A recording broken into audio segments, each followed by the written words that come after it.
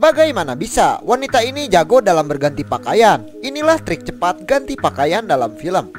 Terlihat pria ini berpura-pura menjadi pelayan. Pada momentum yang tepat dengan cepat dia melepas atributnya. Dengan cepat atribut yang dipakai jadi berubah. Bahkan hidangan yang dibawa ternyata sebuah cover rahasia. Wow. Lanjut ke wanita ini. Karena sedang dikejar penjaga dengan tergesa-gesa mencoba menyamar jadi kelompok preman. Dia melepas dan merubah pakaiannya sambil menyingsatkan celananya. Dia pun mengoleskan cat tembok yang masih basah ke bulu mata dan mulutnya dengan sekejap penampilannya sudah berubah. Seketika itu si penjaga pun tak mengenalinya. Wow. Lanjut ke adegan legendaris Tom Cruise. Saat penyamarannya hampir terbongkar, dengan santainya dia melepas semua atributnya dan keluar dengan selamat. Tapi gak juga sih, karena scene setelah itu ternyata Tom Cruise terkena ledakan yang sangat dahsyat. Wow.